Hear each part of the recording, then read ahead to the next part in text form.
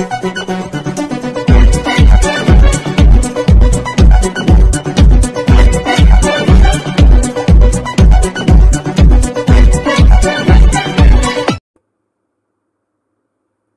to BNI news channel. మా లక్ష్యం ప్రజాపక్షం.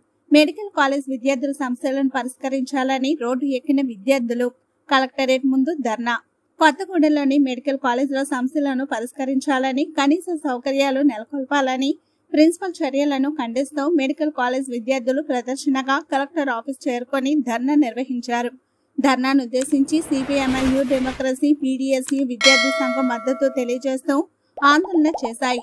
అనంతరం CPIML new democracy Bhadrachalam division కార్యదర్శి గౌని నాగేశ్వరరావు మాట్లాడుతూ మెడికల్ కాలేజ్ ఏర్పాటు చేసి సంవత్సరం దాటుతున్నప్పటికీ ఇప్పటి వరకు కనీస సౌకర్యాలు లేవని విద్యార్థులకు లాభాలు ఎక్విప్మెంట్స్ లేవని ప్రిన్సిపాల్ని అడిగితే విద్యార్థులని టార్గెట్ చేసి సస్పెండ్ చేస్తానని బెదిరిస్తున్నాడని వారు అన్నారు.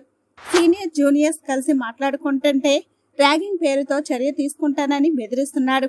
విద్యార్థిన రూములకు వాచ్మెన్గా రాత్రిపూట జెంట్స్ పంపిస్తున్నాడని వారి డ్రెస్సులపై వెటకారపు మాటలు మాట్లాడుతున్నాడని వారి ఆందోళన వ్యక్తం చేశారు.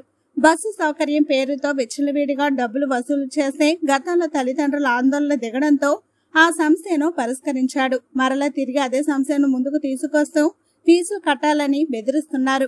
మంచినీటి సౌకర్యం సరిగ్గా లేకపోవడంతో విద్యార్థులకు గొంతు నొప్పి విష జ్వరాలు వస్తున్నాయని వీటిని పట్టించుకునే పరిస్థితుల్లో ప్రిన్సిపల్ లేడని వారన్నారు. ఎంబీబీఎస్ చేసి కన్న తల్లిదండ్రుల ఆశలను తీర్చాలని ఇక్కడికి వచ్చిన విద్యార్థులకు సంస్థలే స్వాగతం చెబుతున్నాయి.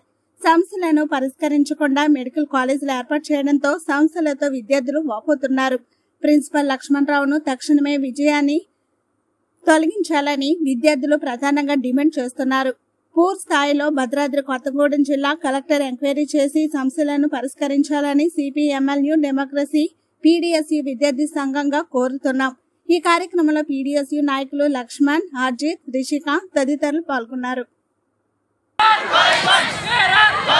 Justice!